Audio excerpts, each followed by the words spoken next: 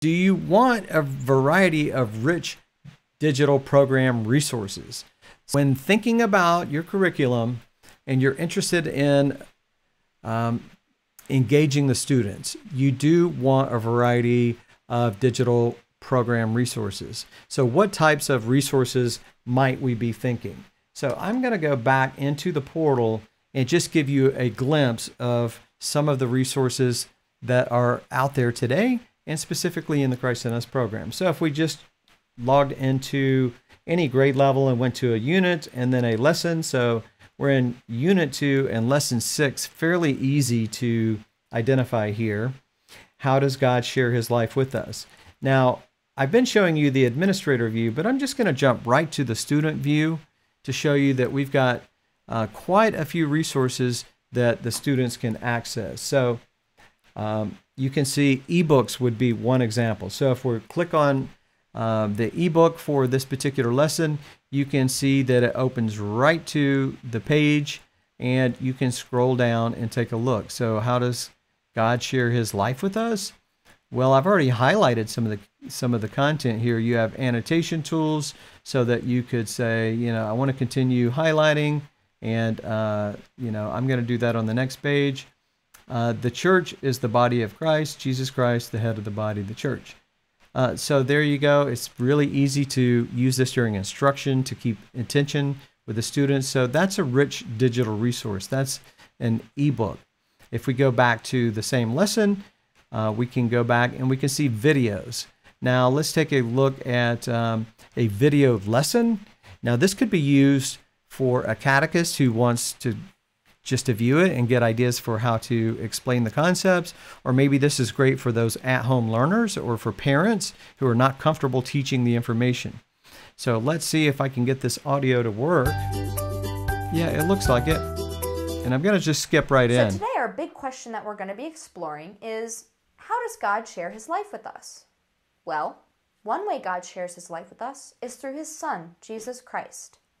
Jesus Christ gave us the church. All right, so you can see these are video lessons.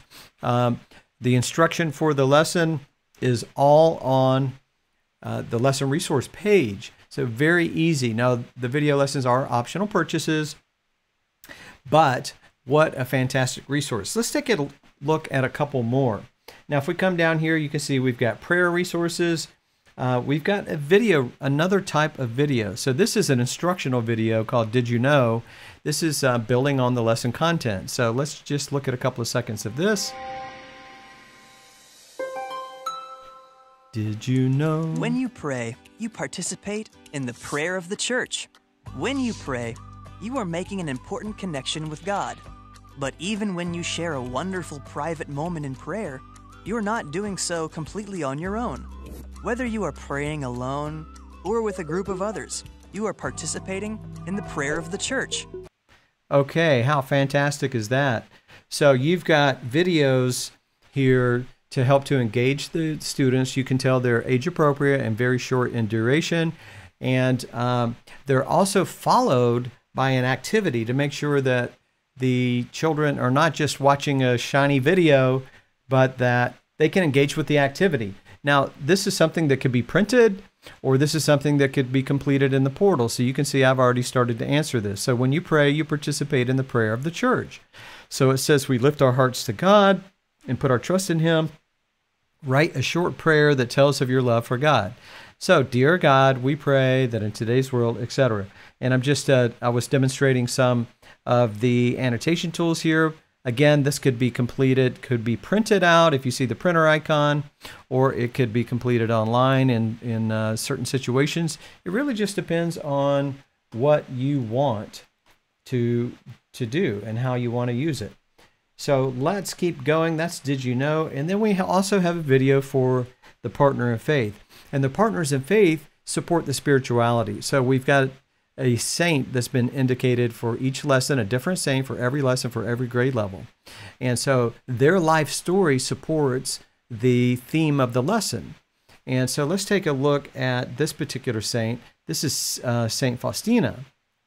So let's see if we can learn just a little about Saint Faustina. Saint Faustina is a partner in faith because she shows us how to share Jesus with the world.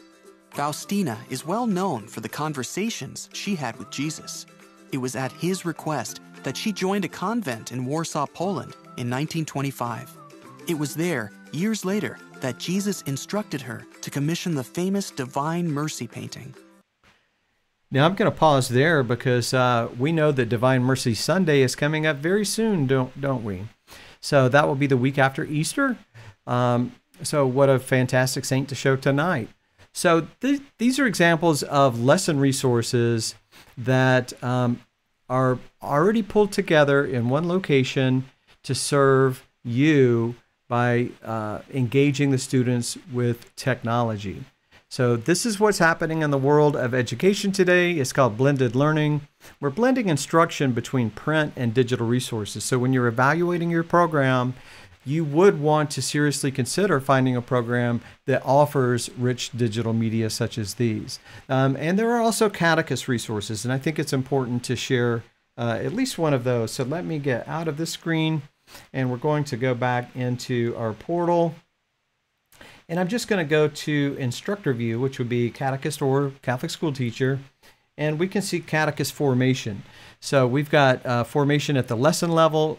Um, if you get started, it's going to provide a lesson focus and lesson summary with definitions of the words. It's amazing what technology can do now to make this so much easier to prepare. This is also available as an audio file. I'll play a few seconds.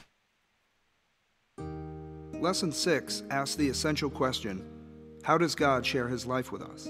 All right, so you can listen to that. Uh, there's a meditation. You can set your own goals. You can look back after the lesson and type yourself notes um, looking forward. So, a lot of fantastic resources in the Christ in Us portal for catechists. Uh, there are also unit resources, fantastic videos to help to support the theme of the unit, as well as broader topics on scripture and uh, Catholic social justice. Um, you know, broader set of catechist formation videos.